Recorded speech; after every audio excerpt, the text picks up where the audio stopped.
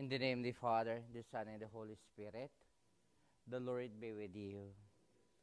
Coming together as God's family with confidence, let us ask the Father's forgiveness, for he is full of gentleness and compassion.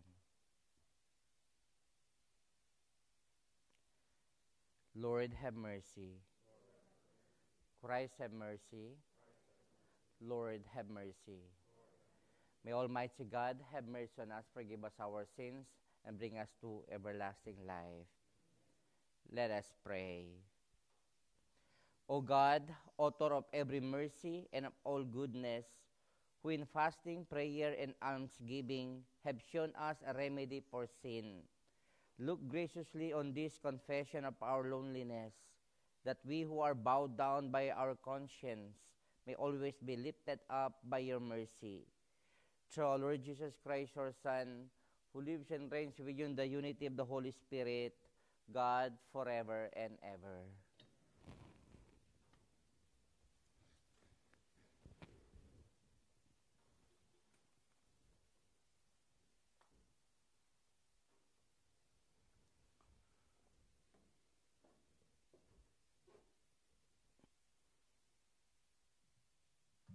A reading from the book of Exodus.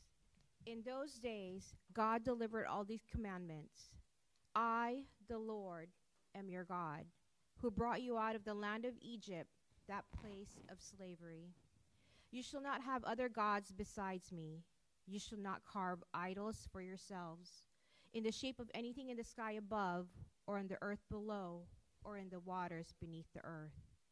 You shall not bow down before them or worship them. For I, the Lord your God, am a jealous God, inflicting punishment for their father's wickedness on the children of those who hate me, down to the third and fourth generation, but bestowing mercy down to the thousandth generation on the children of those who love me and keep my commandments. You shall not take the name of the Lord your God in vain for the Lord will not leave unpunished the ones who takes his name in vain. Remember to keep holy the Sabbath day. Six days you may labor and do all your work, but the seventh day is the Sabbath of the Lord your God. No work may be done by either of you, your son or your daughter, or your male or female slave, or your beast, or by the alien who lives with you. In six days the Lord made the heavens and the earth and the sea and all that is in them. But on the seventh day he rested. That is why the Lord has blessed the Sabbath day and made it holy. Honor your father and your mother, that you may have a long life in the land which the Lord your God is giving you. You shall not kill. You shall not commit adultery. You shall not steal. You shall not bear false witness against your neighbor. You shall not covet your neighbor's house. You shall not covet your neighbor's wife, nor his fail, male or female slave, nor his ox or ass, nor anything else that belongs to him. The word of the Lord. Thanks be to God.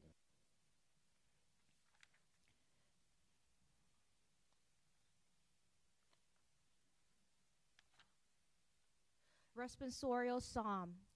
Response is Lord, you have the words of everlasting life. The law of the Lord is perfect, refreshing the soul.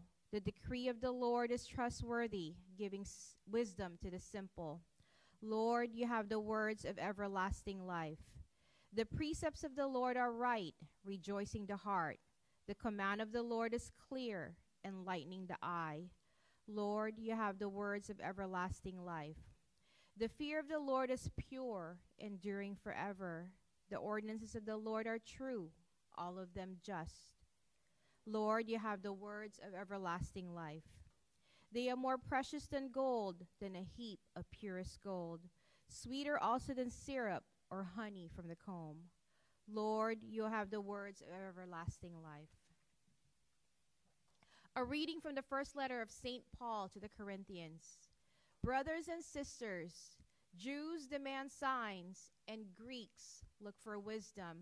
But we proclaim Christ crucified, a stumbling block to the Jews and foolishness to Gentiles. But to those who are called, Jews and Greeks alike, Christ the power of God and the wisdom of God. For the foolishness of God is wiser than human God, and the weakness of God is stronger than human strength. The word of the Lord.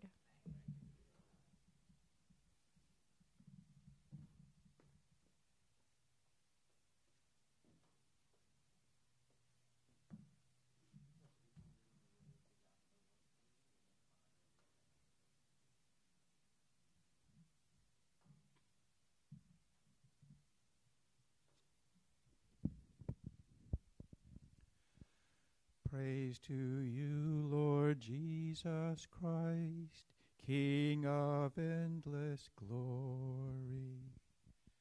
Praise to you, Lord Jesus Christ, King of endless glory.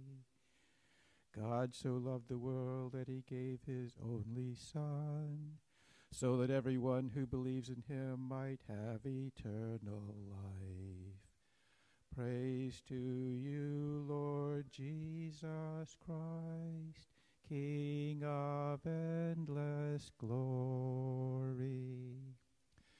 That I may proclaim the holy gospel worthily, and that you may receive it, I pray, the Lord be with you. A reading from the holy gospel according to John.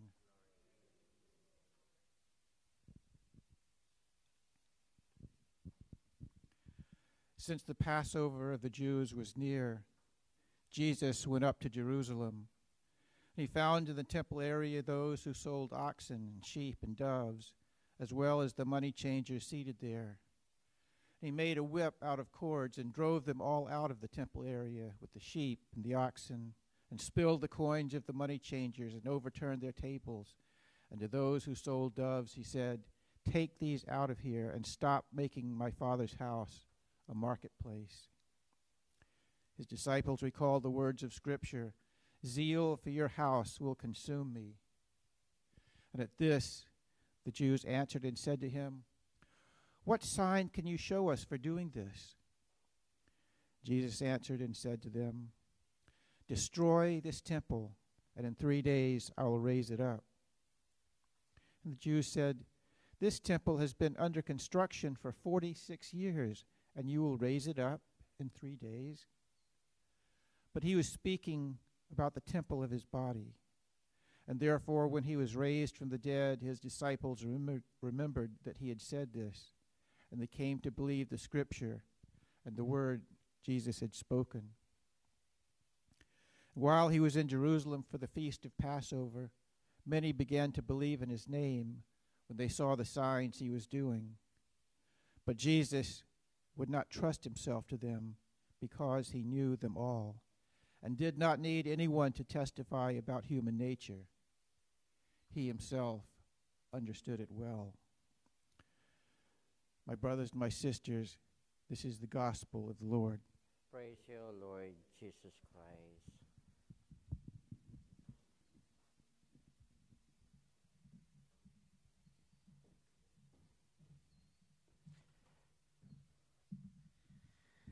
Good morning, my dear friends. We are now in the third Sunday of Lent. Is today's gospel caught you for attention? Jesus has lost his temper.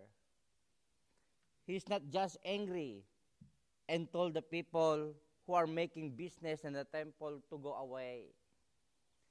He really mad and literally lost his temper, that he himself overturned the tables. He get a whip to drive away the animals and the money changers and those who are selling their animals and goods. Jesus was a kind man, but this time he cannot take it anymore that his father's house was disrespected. The temple is a sacred place of worship. People go there to pray and talk to God. It should not be a marketplace. It is okay to get mad sometimes, if you get mad for the right things or right reasons. Jesus wants us to be good followers that respects God. Jesus wants us to respect the holy places. It doesn't apply only when you are inside the church that you are behaving. We should respect the church and God even outside. It means at all times. My dear friends, we should remember that we do not just go to church, but we are the church. Our body is the representation of the church.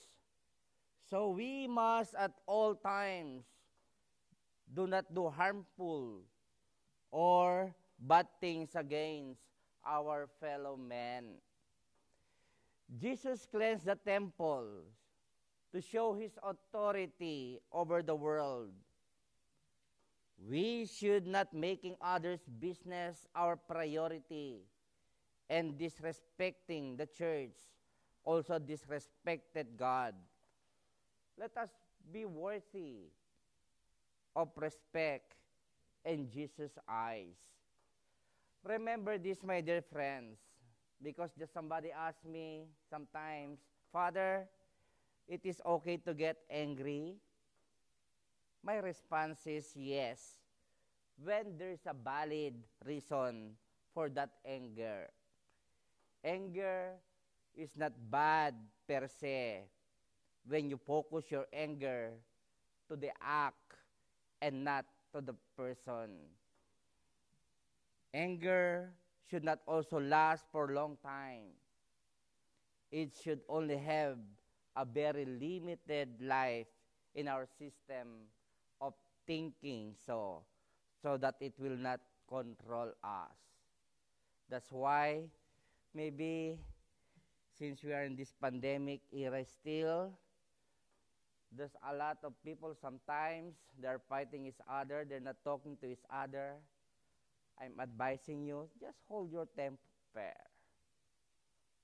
My dear friends in Christ, just hold it. Be patient. Just relax. Silence is the best most especially this Lenten season. If you know that you're, fighting each other, maybe the husband will go to his room and the wife will go to, his, to her garden. That's it. Just relax for a while. That's why, my dear friends in Christ, I hope and I pray this third Sunday of Lent, let us reflect more let us meditate more the life of our Lord Jesus Christ. Amen.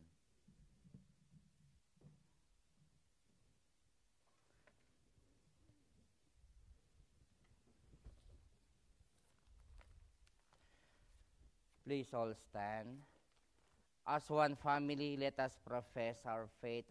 I believe in one God, Father Almighty, creator of heaven and earth of all things visible and invisible. I believe in one Lord Jesus Christ, the only begotten Son of God, born the Father before all ages, God from God, light from light, true God from true God, begotten not made, consubstantial with the Father. Through him all things were made. For us men for our salvation, he came down from heaven. And by the Holy Spirit was incarnate of the Virgin Mary and became man for our sake, he was crucified under Pontius Pilate. He suffered death and was buried, and rose again on the third day in accordance with the Scriptures. He ascended to heaven and is seated at the right hand of the Father. He will come again in glory to judge the living and the dead, and his kingdom will have no end. I believe in the Holy Spirit, the Lord, the giver of life, who proceeds from the Father and the Son. With the Father and the Son is adored and glorified. He spoken through the prophets. I believe in one holy Catholic and Apostolic Church. I confess one baptism for the forgiveness of sins. I look forward to the resurrection of the dead, the life of the world to come. Amen. We now bring our needs and the needs of the world before our merciful Father. For the church, may the Holy Spirit strengthen her in teaching God's law in spirit and truth. Let us pray to the Lord. For government leaders, may God inspire their creation of policies that follow His commandments, especially that of respect for human dignity and life. Let us pray to the Lord. For our catechumens and candidates, that they may learn to know and believe in Christ who came to save what was lost. Let us pray to the Lord. For those suffering any type of disease or affliction, may Christ, the divine physician, bring them comfort and healing. Let us pray to the Lord. For those of us gathered here, may the Lord bless us in our Lenten journey. Let us pray to the Lord. For our beloved dead, may Christ who died for us welcome them to eternal life. Let us pray to the Lord. We also include in this Holy Mass the special intention of Sophia and Scarlett Soriano. We pray also for the souls of Alberto Frio, Aurora Lopez Magallon, Juan Antonio Mariquis, Cesar Canlas, and also we pray those who are celebrating their birthdays today, most especially Clarice Canlas, and those who are celebrating their wedding anniversaries. We pray also our frontliners and those who died just because of this pandemic, those who got this virus. And we pray also our brothers and sisters who are sick. Let us pray for the speedy recovery, most especially Alden Bob Jacome. And we pray also those who have cancer and those who are dying this very moment. Our brothers and sisters are suffering, most especially they're suffering because of depression, anxieties, those encountering a lot of problems in life, like family problems, financial problems, psychological problems. Our brothers and sisters who are already bankrupt to their business or businesses, let us pray for them to the Lord. In the silence of our hearts, let us pray for our personal intention.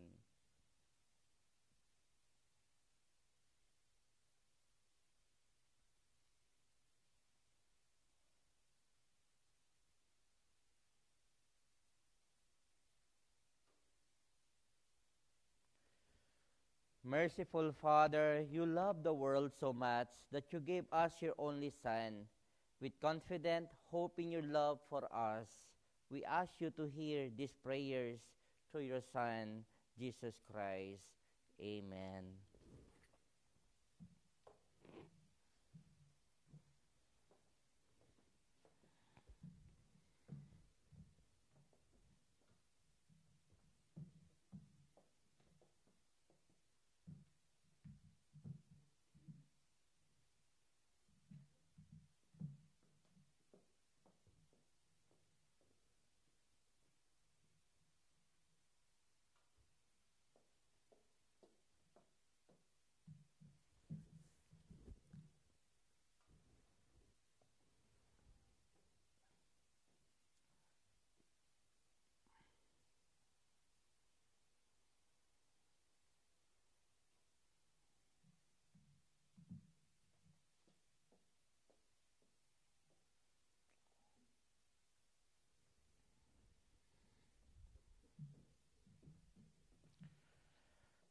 Blessed are you, Lord God of all creation. For your goodness we have received the bread we offer you. Prove the earth for human hands will become for us the bread of life.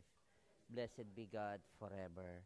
Blessed are you, Lord God of all creation. For your goodness we have received the wine we offer you. From the by the work of human hands will become for us our spiritual drink. Lord God, wash my iniquity and cleanse me from all my sins.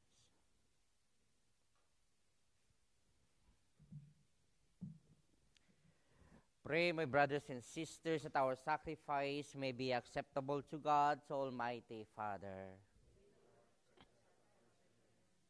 The praise and the glory of His name, for good and the good of all His church. Be pleased, O Lord, with the sacrificial offerings, and grant that we who beseech pardon for our own sins may take care to forgive our neighbor. We ask this through Christ our Lord. The Lord be with you. Lift up your hearts. Let us give thanks to the Lord our God. It is solely right and just, our duty and our salvation, always and everywhere to give you thanks, Lord, Holy Father, Almighty, Eternal God, through Christ our Lord. For when he asked the Samaritan woman for water to drink, he had already created the gift of faith within her, and so ardently did he thirst for her faith that he kindled in her the fire of divine love. And so we too give you thanks, and with the angels praise your mighty deeds as we acclaim. Holy, holy, holy, Lord God of hosts, heaven and earth are full of your glory. Hosanna in the highest. Blessed is he who comes in the name of the Lord. Hosanna in the highest. You are indeed holy, O Lord, the fount of all holiness.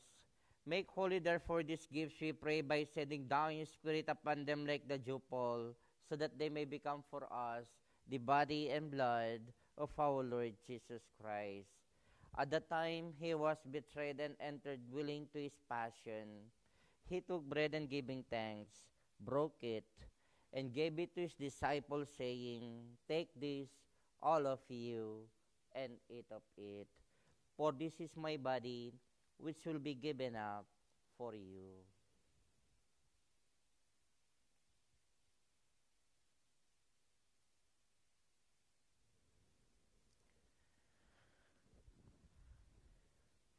In a similar way, when supper was ended, he took the chalice and once more giving thanks, he gave it to his disciples, saying, Take this, all of you, and drink from it. For this is the chalice of my blood, the blood of the new and eternal covenant, which will be poured out for you and for many for the forgiveness of sins. Do this in memory of me.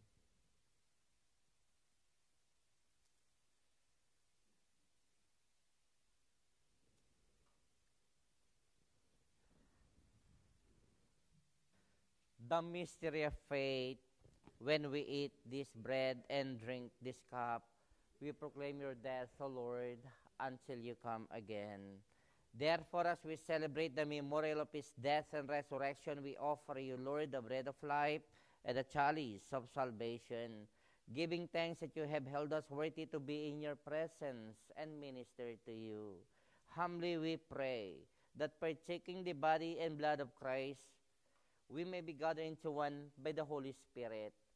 Remember, Lord, your church spread throughout the world and bring her the fullness of charity, together with Francis, our Pope, Robert, our Bishop, and all the clergy and their parishioners, our deacons, non seminarians, and those who are helping our parish Corpus Christi, the brothers and the sisters in every congregation our staff, our volunteers in our parish. Remember also our brothers and sisters have fallen asleep in the hope of the resurrection, and all who have died in your mercy. Welcome them into the light of your face. Have mercy on us all. We pray that with the Blessed Virgin Mary, Mother of God, with Blessed Joseph, her spouse, with the blessed apostles, and all the saints who have pleased you throughout the ages, we may merit to be co-heirs to eternal life and may praise and glorify you through your Son, Jesus Christ. Through him, with him, and in him, O God Almighty Father, in the unity of the Holy Spirit, all glory and honor is yours forever and ever. As one family all together with our humble hearts, let us pray the prayer that Jesus taught us the Our Father. Our Father, who art in heaven, hallowed be thy name. Thy kingdom come, thy will be done, on earth as it is in heaven. Give us this day our daily bread, and forgive us our trespasses, as we forgive those who trespass against us. And lead us not into temptation, but deliver us from evil. Deliver us, Lord, we pray, from every evil. Graciously grant peace in our days, that by the help of your mercy, we may be always free from sin and safe from all distress as we await the blessed hope and the coming of our Savior, Jesus Christ. In the power and the glory are yours now and forever. Lord Jesus Christ, who said to the apostles, Peace I leave you, my peace I give you.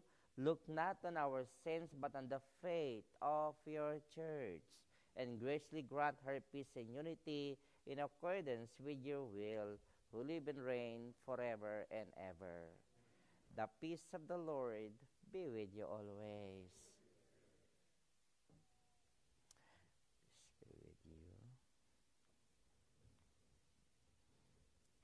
Lamb of God, takes away the sins of the world, have mercy on us.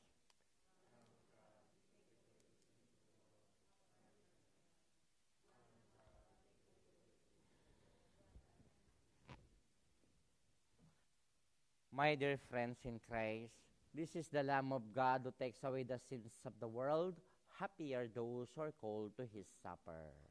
Lord, I am not worthy that you should enter under my roof, but only say the word, my soul shall be healed. May the body and blood of Christ bring us to everlasting life.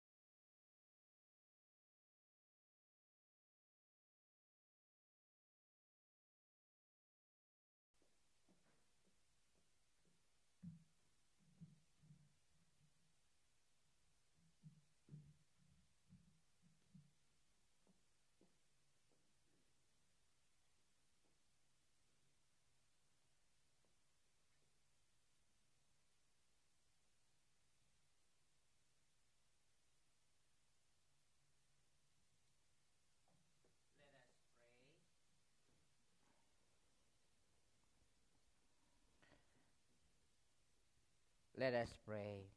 As we receive the pledge of things yet hidden in heaven, and are nourished while still on earth with the bread that comes from on high, we humbly entreat you, O Lord, that what is being brought about in us in mystery may come to true completion. We ask this through Christ our Lord. Pledge cards for the 2021 Renewing Hope Annual Catholic Appeal are available on the bulletin stands for those of you who have not yet participated and would like to be a part of this important mission of the church. Pledge cards can be returned to the parish office or placed in the collection baskets or collection boxes. We are very grateful for your generosity and support. The Knights of Columbus will be providing a takeout breakfast next Sunday, March 14, after the 7:30 a.m. and 9 a.m. mass. Tickets are available for purchase after mass and are $7 each. You can also purchase tickets the day of the breakfast.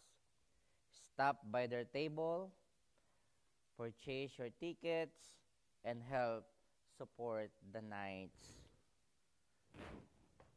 The Lord be with you. May Almighty God bless you all, Father, Son, and the Holy Spirit. The Holy Mass ended. Go and let us pray for one another. Thanks be to God.